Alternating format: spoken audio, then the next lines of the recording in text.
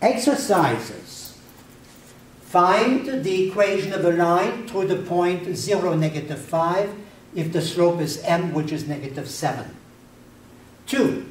Find the equation of the line passing through p sub 1, which is 1, negative 9, and q, which is negative 5, 3. Write your answer in slope-intercept form. 3.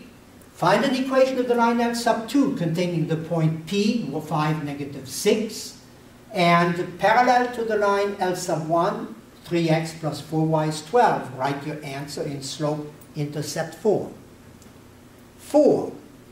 Find an equation of the line L sub 2 containing the point P, 5, negative 6, and perpendicular to L sub 1, which is 3x plus 4y equals 12. Write your answer in slope-intercept form. 5.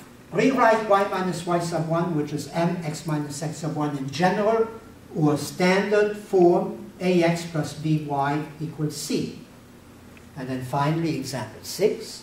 Rewrite y minus y sub 1, which is mx minus x sub 1 in general or standard form ax plus by equals c. And then one more.